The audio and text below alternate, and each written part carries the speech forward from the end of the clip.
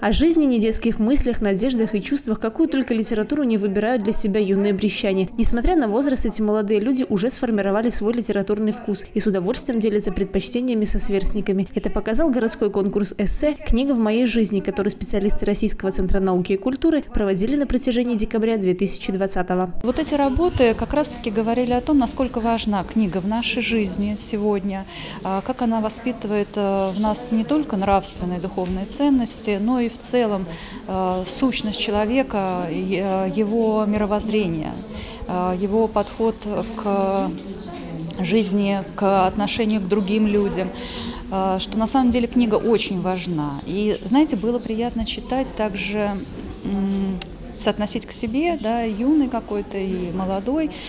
Ребята писали о том, что вот сама атмосфера, когда ты открываешь новую книгу, когда ты чувствуешь запах еще вот типографской краски, а, когда ты чувствуешь вот этот хруст страниц. То есть на самом деле ребята не просто, это была отписка какая-то эта работа, да, работа эссе, а э, ребята понимали, о чем они пишут. Авторы лучших эссе стали участниками торжественного приема в Росцентре. У главной новогодней красавицы «Пушистая ели» ребята получили свои заслуженные подарки. Для пятиклассника Димы Стельмашука звание лауреата Гран-при было неожиданным, но особенно приятным. В работе над эссе юношу поддержала учитель русского языка и литературы, которая творческие способности своего ученика оценила давно. Я знала, что у Димы все получится, потому что у него успешно получается как устное выступление у доски, так и письменные работы. Причем работы неповторимы, одна на одну не похожи. Дима удивляет с каждым новым сочинением. И вы знаете, я даже с нетерпением жду, чтобы задать сочинение, зная, что Дима обязательно с ним справится. Мне очень понравилось то, что я писала дедушке, потому что это было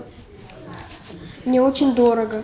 Мне он очень нравился. Он мне читал первые мои книги, и я его очень любил. Для этих начинающих авторов конкурс стал хорошей площадкой для того, чтобы заявить о себе, рассказать о творческих способностях, а также своего рода заделом на будущее. Открыв в себе талант эссеиста, кто-то из ребят обязательно продолжит развивать это хобби и впоследствии сможет сделать его своей профессией.